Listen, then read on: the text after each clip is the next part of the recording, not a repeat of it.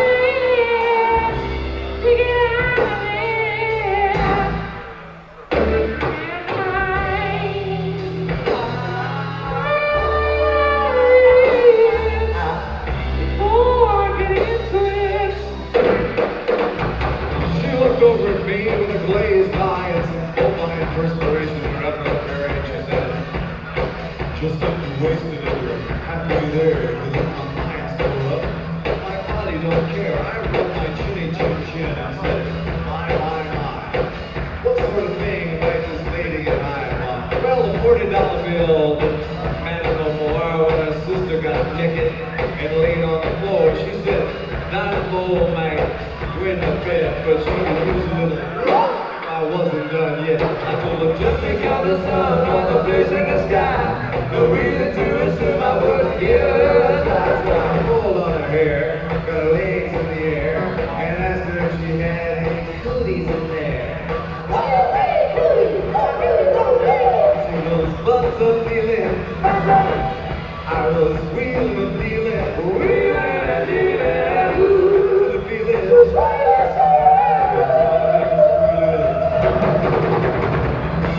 know what you gonna It under the bed, just a twitching the face of the man. Some drool rolling down from the head to the chin while the slimy condition her sister was in.